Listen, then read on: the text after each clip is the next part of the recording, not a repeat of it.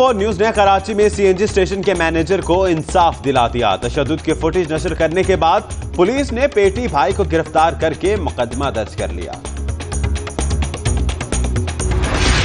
राजनपुर के छोटू गैंग से ताल्लुक पर एक दर्जन से जायद पुलिस एहलकार नौकरियों से फारिग। तीन सबक एस एसएचओज भी शामिल।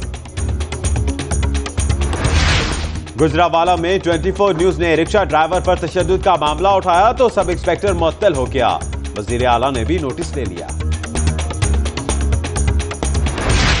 कराची में गैर कानूनी पार्किंग के खिलाफ कार्रवाइयों के बावजूद शहर भर में ट्रैफ़िक जैम।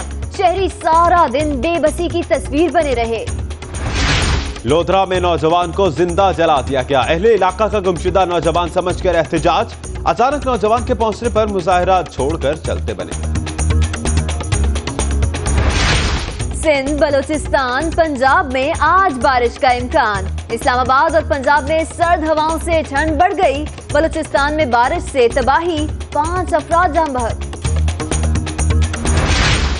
उड़ी वाक़े के बाद भारतीय जेल में दो पाकिस्तानी बच्चे कैद। पाकिस्तान ने मामला भारत के सामने उठा दिया। मकबूजा कश्मीर से गिरफ़्तार शख्स को भारत ने पाकिस्तानी करार दे दिया।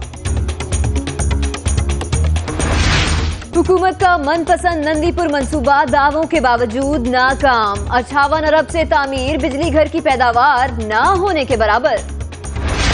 बिलावल भुट्टो आज शाम बैरून मुल्क रवाना होंगे। दुबई और लंदन में पंद्रह रोज कयाम होगा। सबक सदर आसिफ जरदारी की फरवरी में वापसी मुतव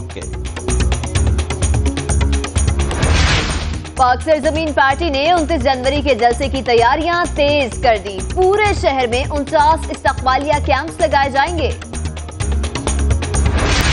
पानी का बहरान पैदा करने वालों के खिलाफ कार्रवाई की जाए। वाटर कमीशन के रिमार्क जमीनी हक के मुताबिक है। एमक्यूएम पाकिस्तान का रद्द अमल। चीन में अजदहा नुमा बर्फ़ के पुल के हसीन नजारे। कुदरती तौर पर बनने वाला पुल पाँच किलोमीटर तवील। देखने के लिए सयाहों का रश भारतीय हुकूमत पागलपन की आखिरी हदों को छूने लगी। कुत्तों को खुद को हमलावर समझकर कत्लेआम शुरू कर दिया। बरतानवी हुकूमत ब्रेग्जिट पर पीछे हटने को तैयार नहीं। पार्लियामेंट के दोनों ऐवानों के इजलास में आर्टिकल 50 पर बिल लाने की तैयारी। मेयर करप्ट है या ईमानदार? बरतानिया में वज़न बढ़ने या कम होने से कारकर्दगी का तयन करने की साढ़े तीन सौ साल पुरानी रिवायत। चीन में नए साल के जश्न पर लाखों अफराद की आबाई घरों को वापसी। सड़कों, ट्रेनों, जहाजों में रश, मोटरसाइकिल सवारों के लिए खसूसी पैकेज।